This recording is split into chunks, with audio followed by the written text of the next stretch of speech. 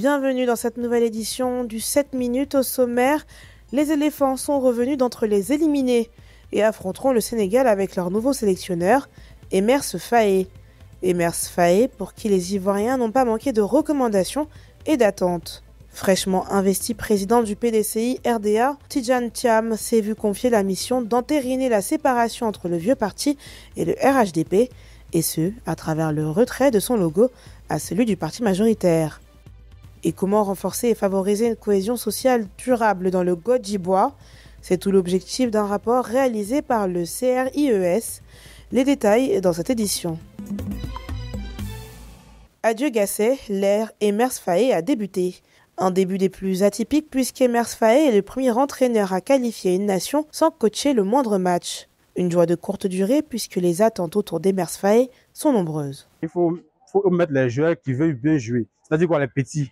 Les, jeunes qui viennent de sortir, les Simon, euh, comment dire, on peut dire que euh, les, euh, comment, Amani Lazare, Ouma Diakité, tout ça, ils peuvent donner la force pour jouer, mais les autres, ils sont dans la peau, ils ne se donnent plus. Donc, je pense que ceux-là, ils peuvent donner un. Un peu. C'est accompagné de deux autres anciens pachydermes, Guy Demel et Alain Guaméné, qu'Emer Faye doit, en plein milieu de la compétition, mener le 11 ivoirien le plus loin possible dans cette dernière. Une mission pour laquelle les supporters ivoiriens ont quelques recommandations.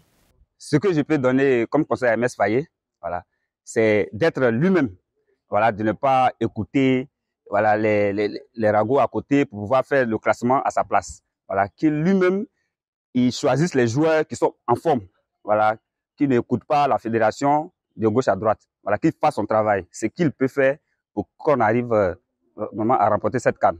Après la qualification une extrémiste de la Côte d'Ivoire grâce au Maroc, la prochaine étape pour les éléphants est de s'imposer face aux lions de la Teranga, champion en titre. Une rencontre de haut niveau qui prendra place à Yamsokro le 29 janvier prochain.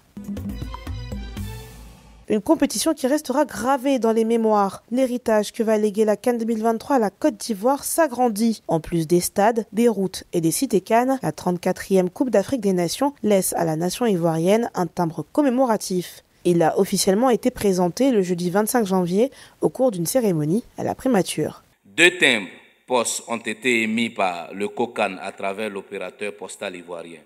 Le premier timbre, Aquaba, à trois valeurs faciales, 250 francs, 500 francs et 1000 francs, et le second avec deux valeurs faciales, 250 francs et 500 francs. Chaque thème peut être utilisé pour servir de preuve d'acquittement de l'affranchissement correspondant à sa valeur intrinsèque. À travers cette 34e édition, le COCAN 2023 s'engage à offrir une expérience unique aux spectateurs et aux supporters en mettant l'accent sur trois grandes thématiques, à savoir l'hospitalité, la passion et l'héritage. Pour le président de l'institution, ce timbre fera le tour du monde et traversera le temps.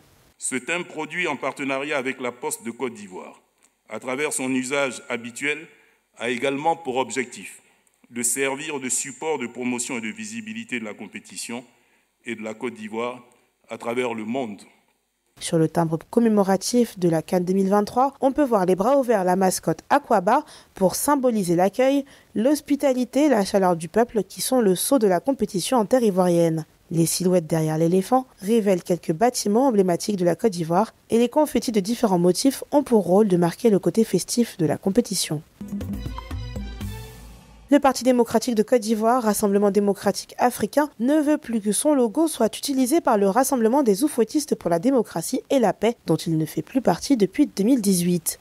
En violation de toutes les règles de droit et de bon sens et de démocratie, le RNDP a choisi de méconnaître la volonté clairement exprimée du PDCI RDA de se retirer et s'est arrogé droit de continuer d'utiliser le logo du PDCI RDA sans son consentement, en incluant le dit logo dans son logo. Plusieurs actions judiciaires et administratives ont été initiées pour faire cesser cet usage frauduleux. Mais toutes se sont avérées infructueuses à ce jour. Les jours suivants, nous situerons sur cette affaire d'insigne. C'est fait. Le rapport officiel de l'étude stratégique sur la cohésion sociale dans le Godjibois a été remis officiellement à son premier responsable, le ministre-gouverneur Louis-André Dakouré-Tablé. Au CIRES, venu de parler de la, réfléchir sur la cohésion sociale. Parce que le district d'Ivoire est un district où, où, la majorité est BT et DIDA. Mais ça, c'est une population du cru. Là-dessus, s'est ajouté une grande population diversifiée. Et ça crée quelques remous, euh, pour, être, pour faire l'euphémisme, hein, mais euh, ces remous-là peuvent gêner l'investissement. Ce rapport vise à l'élaboration d'un schéma directeur d'aménagement du territoire du district et d'un guide des atouts touristiques, culturels et économiques. Il a été élaboré par le Centre ivoirien de recherche économique et sociale. Alors, ce qu'il faut retenir, c'est que ce rapport-là euh, fait ressortir euh, des facteurs qui peuvent aider à renforcer la cohésion sociale dans le district du d'Ivoire. À noter que cette étude a débuté en 2022 et a été menée dans plusieurs villes et villages, dont les localités de Divo et de Gagnoa. C'est la fin de cette édition du 7 minutes. Merci de l'avoir suivi. L'actualité se poursuit sur cette info et sur cette info.ci.